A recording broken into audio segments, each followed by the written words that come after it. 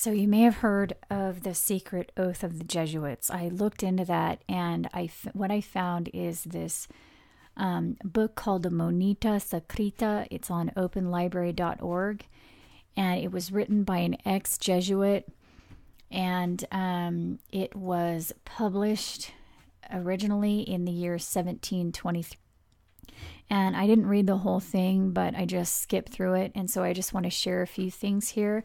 Um, if you want to look more closely into it, I'll leave the link below. So it says the greatest possible care must be taken that these instructions do not fall into the hands of strangers. But if this should happen, let it be denied that these are the principles of the society, and let such denial be confirmed by those of our members whom we are sure know nothing of them. So it's saying there are some people within the order itself who don't know the ultimate agenda, which makes sense because we know a lot of um, organizations do that, a lot of secret societies do that.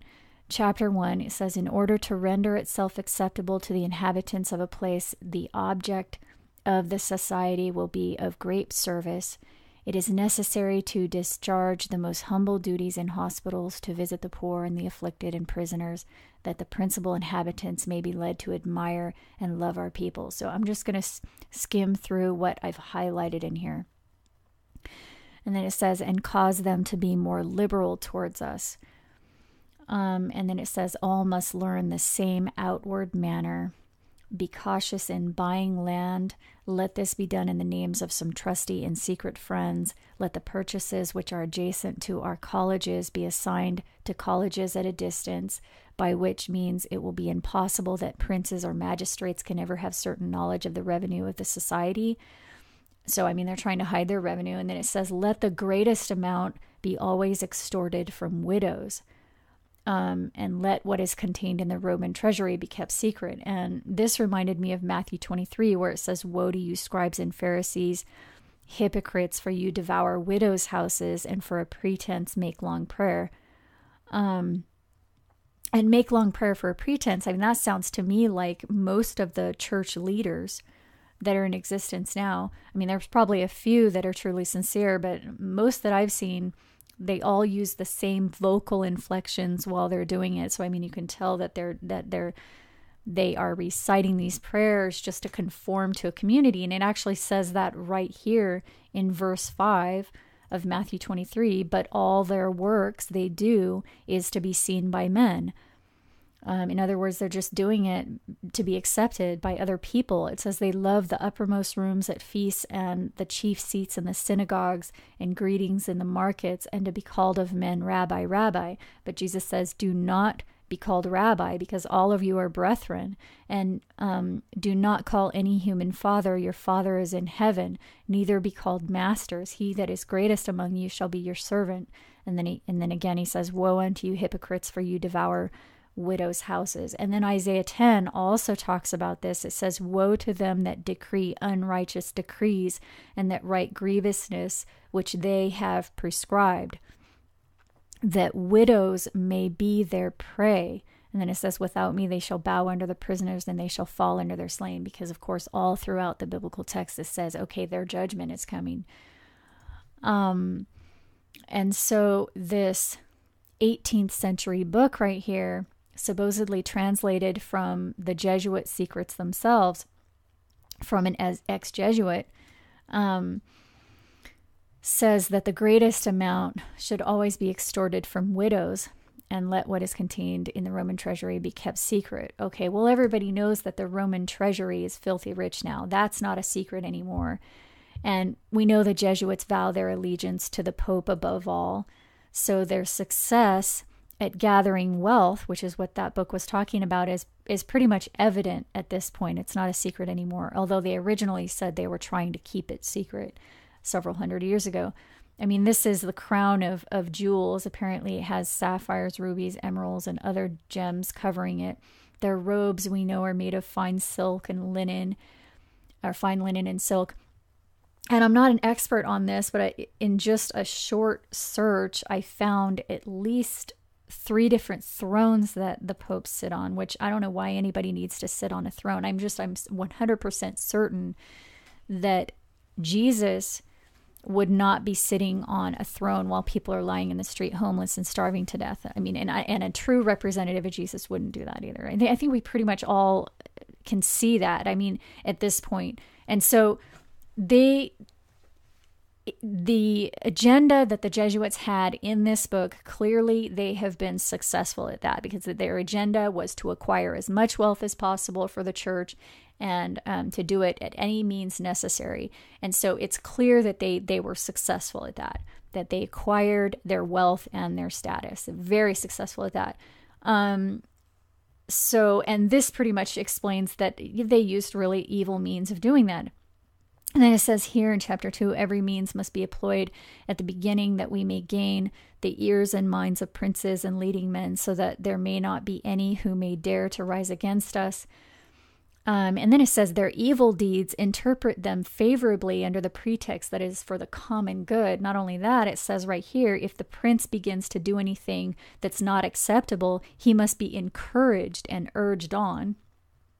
And it says here, those who are of great authority in the state, they must be used in subduing and restraining the sort of people who are oppressed to our society. So they're going to use the government um, to get rid of their their enemies, or which are probably the good people in the world, the people that don't want to be part of it. Um, and then it says, "Let our people so direct princes and illustrious men that they may appear to aim only at the greater glory of God, for their aim must not be must not immediately but gradually be directed to political and secular dominion. So, very slowly over time, they're saying they want to take over the governments, basically. Um, and then here, this is another one um, that's especially bad. It says greater efforts must be made against those who attempt to set up schools for the education of youth. Let it be shown to princes and magistrates that these people will cause disturbance unless they are prevented. It's talking about people that just want to help children they're to be demonized. Um, and then it says here um, concerning winning over rich widows to the society, it says that they, down here, um, they're going to do all these things that they may be more easily withdrawn from the conversation of visits and, and suitors. So they want these widows to, to remain lonely so they can take all their wealth and property. Um, and then it talks about in what manner widows are to be secured and their property disposed of. So this pretty much explains why Jesus kept talking about widows all the time, saying those who, you know, devour widows' houses. This is it right here. And then it says here, um, let the mothers be instructed to annoy their children even from infancy with reproofs, castigations, etc. And especially when daughters are grown up, let them be refused ornaments and apparel, apparel suitable to them. Then it talks about how they increase their revenue by accentuating those who are poor within their community, but keeping secret those who are wealthy. And I mean, that just shows you that they don't even take care of their own, they simply use their destitute to advance their own agenda. And then it says it's necessary to dismiss as an enemy whoever has alienated those who are devoted to the church or persuaded any rich person or any person well disposed to leave. And also, it's necessary to dismiss those who show greater affection for their relatives when disposing of their property.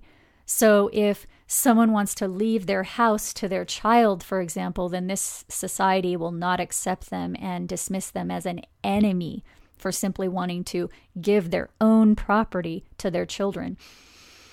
Um, and personally, when I was looking at this, the first thing I thought of was that this is the binding of the tares right here, because obviously these the, they're they're taking in people that are really evil and and and making enemies of those that are actually good people.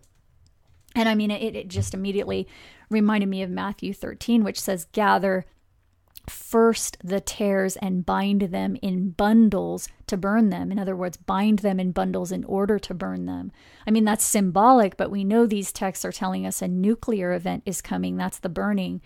And some will, a great multitude will be saved from that, a multitude that can't be counted. But before that, the tares, the bad seed, will be bound together in bundles. So, I mean, that's that's just what this seems like to me because um, if you continue reading this, you'll see they they're dismissing good people and keeping the bad.